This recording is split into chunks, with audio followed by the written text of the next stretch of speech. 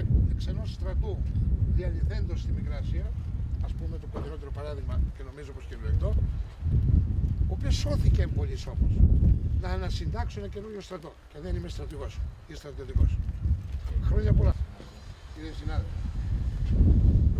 Χρόνια πολλά. Χρόνια πολλά. Χρόνια πολλά. Από πού είμαστε, Να σας πολλά. Εγώ είμαι από Ήδρα. Ήδρα. Πραγματικός εσύ. Έρδε πάνω. Αθήνα. Πελοπόννησο. Κανείς μην την δεν είμαι γονάδια πάνω.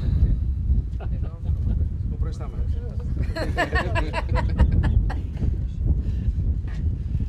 Στρατηγέ, παρακαλώ. Παραστώ. Ένα άλμπουμ Μια ζωή. εν ζωή όμως, γιατί θα τα παρατήσεις στους εγγονούς του και στα παιδιά του. Θα τα φάνε αυτοί. Τούτος πρέπει να τα κερδίσει. Είναι κομμανιός άνθρωπος, είναι και μερακλής. Δεν ξέρω πού τα βρω.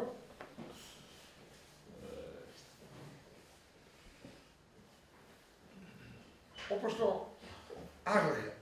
Άγρια. Ευχαριστώ πολύ. Το βελάκιο. Δεν είναι πρώτη φορά βεβαίως.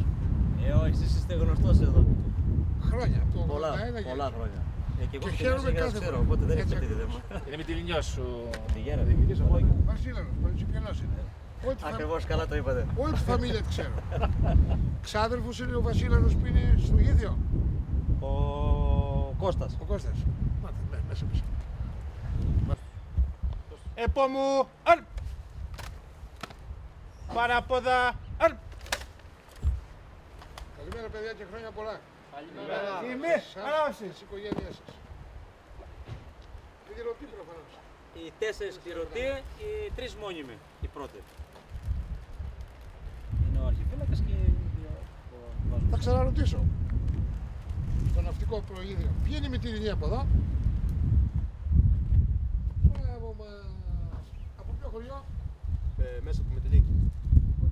Από τη Γέρα. Ποιο χωριό. Από το Μεσαγρό. Μεσαγρό. Από την πόλη. Εδώ. Μάλιστα.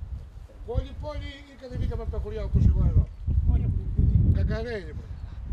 Και ο Κωνσταντής από τη Λίγκια. Μάλιστα. Ποιος είναι η θητεία τώρα; Εννέα μήνες. Ωραία στρατός, προσκοπισμός, συν κάτι. 27 μήνες έκανα. 68-70. Φούρναρη στην Κατερίνη. Ζήμουνα 1800 κοραμάνες μαζί με άλλους βεβαίως. Φουρναρέους. Στα κοπή στρατηγία. Κρέβαμε και το αλεύρι.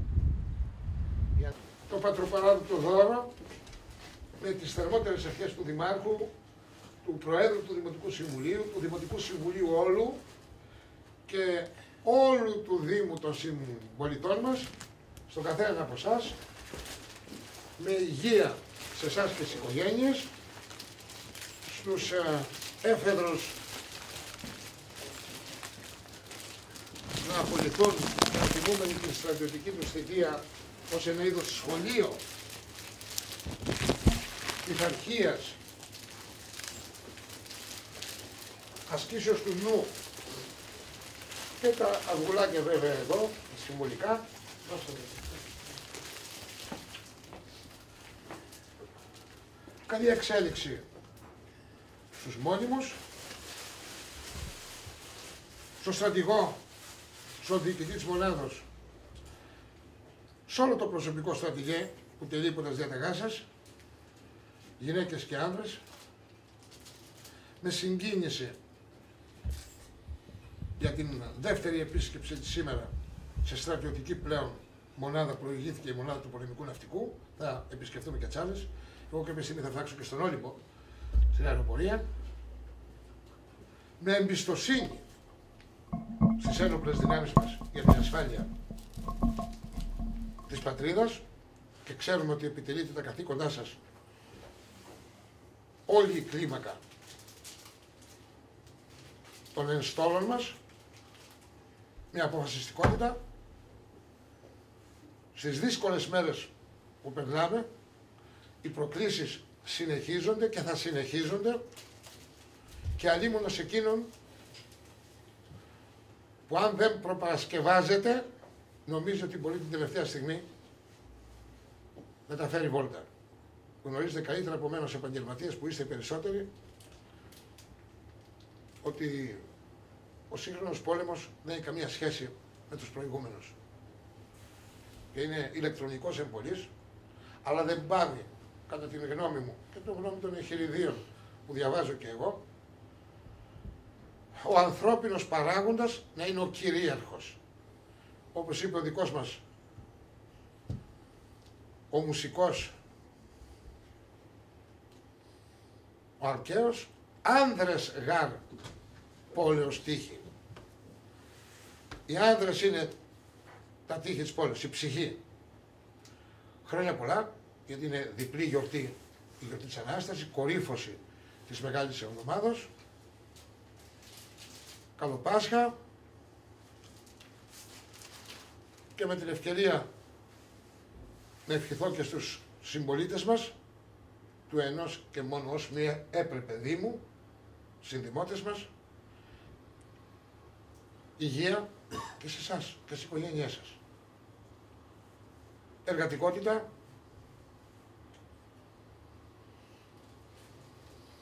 χρησιμοποίηση του μυαλού και όχι των συναισθημάτων, γιατί εμείς οι Έλληνες είμαστε ή όλο μπροστά, αέρα και τους φάγαμε, ή όλο πίσω και δεν μας πιάνουν στο κυνηγητό.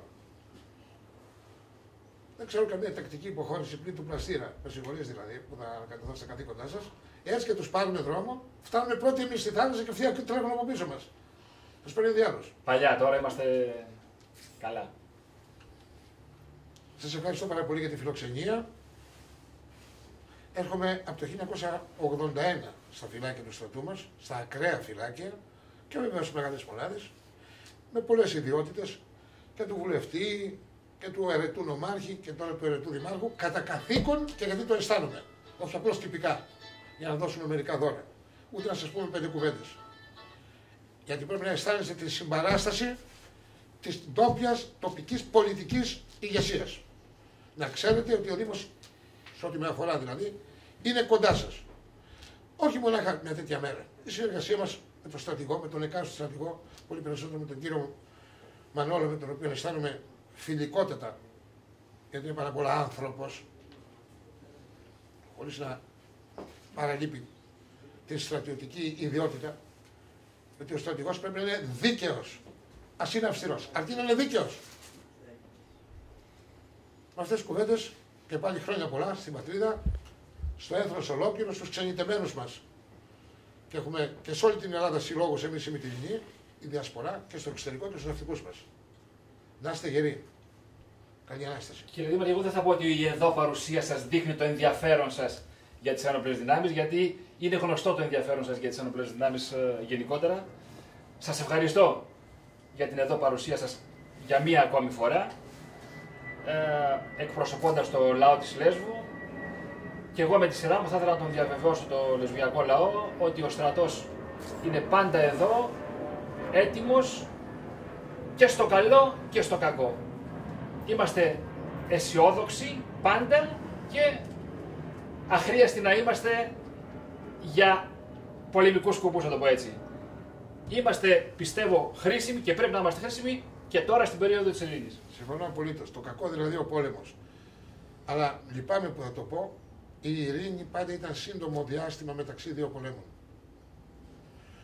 Επειδή ο Θουκυδίδης επαληθεύεται διαρκώς, και είπε έως αν η αυτή φύση των ανθρώπων ή και εδώ οι μεν φιλολογούντες λένε ε, υπάρχει ένα χρονικό σημείο αφού αυτή είναι η φύση των ανθρώπων και έως ότου είναι υπάρχει μια χρονική στιγμή που μπορεί ο άνθρωπος να είναι καλύτερος να μην χρειάζεται στρατό, να μην χρειάζεται πολιτικούς, ε, να μην χρειάζεται κυβερνήτες, μπορεί ο καθένας να αυτοκυβερνηθεί, το ιδανικό της αναρχίας, ότι όλοι μπορούμε να κάνουμε κουμάντο, δυστυχώς είναι ιδανικό μονάχα, Έως αν λοιπόν είναι αυτή η φύση των ανθρώπων ή κατά το Θοκυδίδη. Όχι. Επειδή είναι αυτή, είναι αιτιολογικό. Είναι πραγματιστικό. Και δεν αλλάζει, είτε δηλαδή προβιές φόραγε κάποτε ο άνθρωπος. Μας τα έμαθαν οι δάσκαλοι στο σχολείο. Είτε φουστανέλες, είτε χιτώνες, είτε φουστανέλες, είτε φράγκικα, τα πάθη του, οι ανάγκες του, τα συμφέροντά του, είτε ατομικά, είτε ως κράτη, και ο Θουκυδίδης είπε κάτι που άκουσα εγώ τον Τεγκόλ να το λέει το διάβασα σε εφημερίδες όταν είχε έρθει το 70 1962-63 στη Θεσσαλονίκη, ήμουν νεαρό φοιτητής. Είπε στον αίμνηστο Καραμαλή ότι τα κράτη δεν έχουν συναισθήματα και οι κυβερνήσεις. Έχουν συμφέροντα. Και τα συμφέροντα είναι ένα εκ των τριών που πάλι ο Θουκυδίδης είπε. Δέος, ο φόβος. Δόξα, είναι Χίτλερ, είναι ο Μέγας Ναπολέοντας. Οφελία, συμφέρον. Θα κάνουν τους πολίτες να δρουν και τις οικογένειες τους και τα κράτη πολέμους. Ζήσαμε τα τελευταία χρόνια την ιστορία του Ιράκ. Ο Μπούς θέλοντας να βάλει στο χέρι το πετρέλαιο, είπε ότι ο Σαντάμ Χουσέιν έχει βακτηριολογικά όπλα και πυρηνικά όπλα, έκαναν τα όσα έκαναν, δεν βρέθηκαν τέτοια και μετά είπε, συγγνώμη, με πληροφόρησε εσφαλμένα ε, η CIA. Πέσαμε έξω. Ναι, αλλά το πετρέλαιο το μοίρασαν, το πήραν. Οφελία, δέος, δόξα, ωφελία. Αυτά θα κάνουν τους πολέμους. Είναι το κακό που είπε προηγουμένως ο στρατηγός για να μην παρεμηνευθεί. Αλλά αυτό μας κρατάει ελεύθερο σε εμάς τους Έλληνες. Εμείς δεν κάνουμε και ποτέ κανέναν επιθετικό πόλεμο. Κανέναν. Αμυντική ήταν όλοι οι πόλεμοι του, του ελληνισμού. Άλλοι μας επετίθεντο. Και δυστυχώς η Ελλάδα είναι μια χώρα των συνόρων. Από παντού έχουμε σύνορα. Δεν έχουμε μόνο ένα. Δεν έχουμε δυο. Και είναι και στρατηγικό το σημείο, ο δρόμος μπροστά από εδώ που περνάει, τα νερά, τα διεθνή, μάλλον από την άλλη πλευρά, γιατί από εδώ είναι μοιρασμένη η Φαλοκρεπίδα και η Αιγύρη Ζώνη, από το Σίγρη μπροστά, είναι ο πανάρχαιος δρόμος προς τη Μαύρη Θάλασσα. Από εκεί έρχονταν τα σιτηρά, από εκεί έρχονταν ο Κασίτερος, από εκεί έρχονταν οι ξυλίες. Και επομένως, όποιος ελέγχει τον δρόμο τον θαλασσινό αυτόν, ο οποίος είναι στρατιωτικό-πολιτικό δρόμος υψής της σημασίας και θα είναι, καμιά 29-30 κράτη μετά την κατάρρευση του Σοβιετικού κόσμου δημιουργήθηκαν εκεί. Τεράστια συμφέροντα. Τι είχαμε εδώ εμείς. Δεν είναι σαν τυχείο για παράδειγμα ο δρόμος αυτός. Ή σαν την Κέρκυρα, λέω τώρα ένα άλλο νησί. Τούτος είναι επικίνδυνος δρόμος θαλασσινός και το Αιγαίο ε, Πέλαγος ήταν πάντα μια θάλασσα, θάλασσα περίεργη. Που δεν έχει καμία σχέση με το Ιόνιο. Και ως προς τις καιρικές συνθήκες, αλλά κυρίως ως προς την σύγκρουση των πολιτισμών. Δεν ήταν τόπος αφομοιώσεως πολιτισμών, δημιουργίας πολυπολιτισμικών κοινωνιών. Σύγκρουση. Εδώ ήταν τα σύνορα του ελληνισμού αργότερα. Εδώ ήταν τα σύνορα της Ευρώπης, είναι στα σύνορα της Ευρώπης σήμερα. Ασία από εδώ, ό,τι σημαίνει Ασία, από εδώ και προς Ευρώπη. Είπαμε κάπως παραπάνω. Πάνω, πάνω, σε αυτό, πάνω σε αυτό που σου λέω από την πρώτη στιγμή είναι ότι τα στελέχη θα το έχουν ξανακούσει ενδεχομένως στους ε, στρατιώτε τη οπλική θητείας. Ότι πρέπει να είναι τρελός κάποιος για να θέλει τον πόλεμο. Αλλά πρέπει να είναι θεότρελος εάν περνάει έστω και λίγο από το μυαλό του ότι μπορούμε να δώσουμε στα παιδιά μας έστω και μια πέτρα λιγότερη από αυτό που παραλάβαμε με τους γονείς μας. Έτσι. Έχουμε εδώ και ένα παράδειγμα στρατιωτικό προς αποφυγή. Τι σημαίνει παράδοση, το ζήσαμε εδώ, το ζήσαν οι πρόγονοί μας.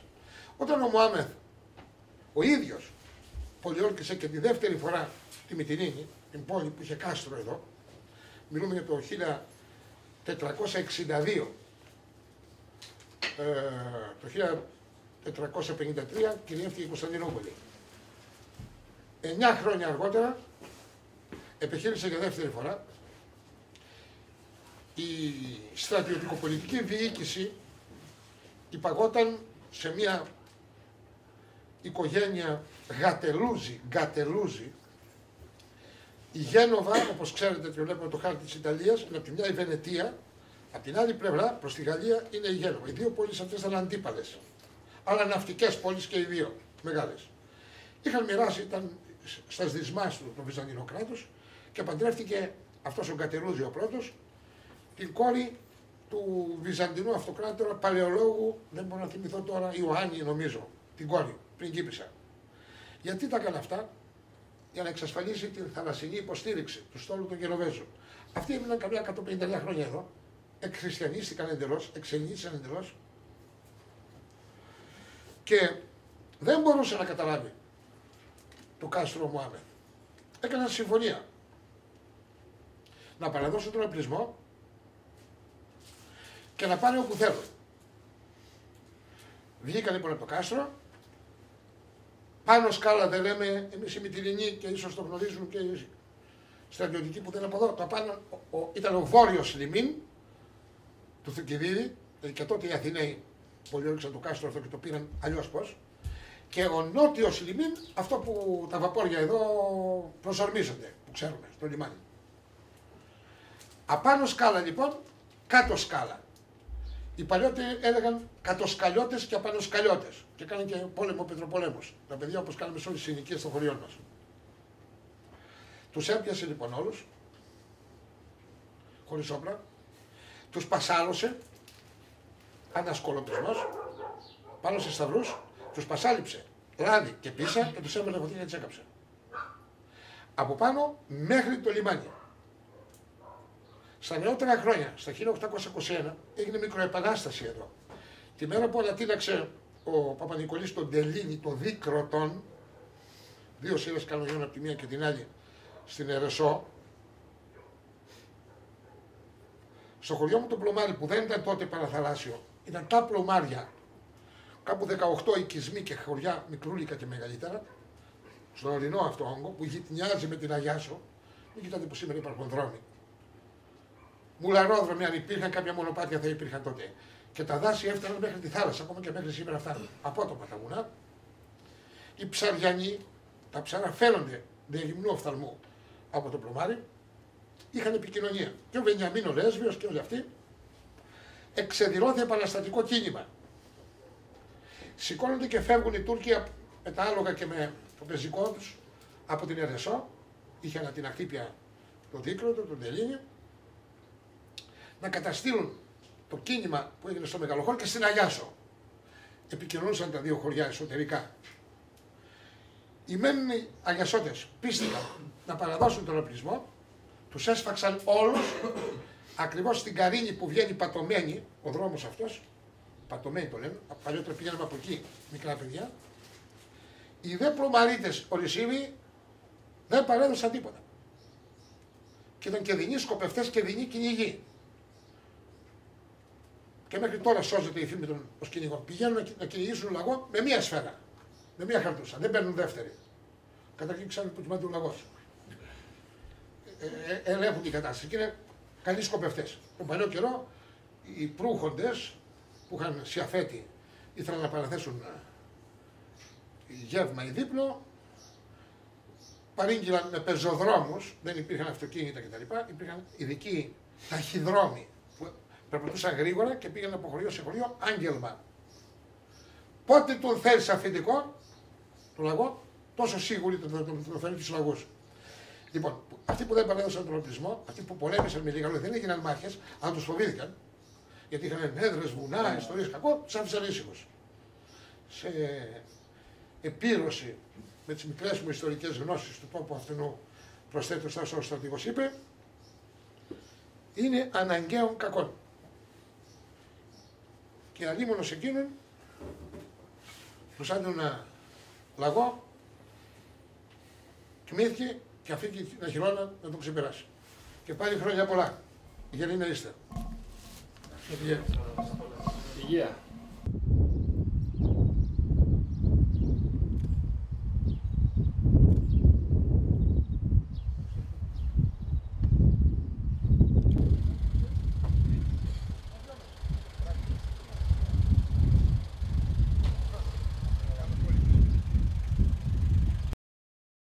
Ευχές στις ένοπλες δυνάμεις μας συνολικά στους οποίους βασίζεται, στις οποίες ένοπλες δυνάμεις βασίζεται ο ελληνισμός και όχι απλώς ο ελλαδικός ελληνισμός αλλά το έθνος ολόκληρο για το ετοιμοπόλεμό τους για τα έργα ειρήνης τα οποία επίσης συνεισφέρουν στους ίδιους και στις οικογένειές τους σε όλο το προσωπικό πολιτικό και στρατιωτικό εκ μέρους της Δημοτικής Αρχής Ευχόμενοι τα βέρτιστα στην πατρίδα, στους ίδιους, στις οικογένειές τους. Χρόνια πολλά. Και στους απόδημους βεβαίως που λείπουν και έχουμε δύο λόγια απόδημους. Η Ενελάδη και το εξωτερικό και τους ναυτικούς μας. Υγεία.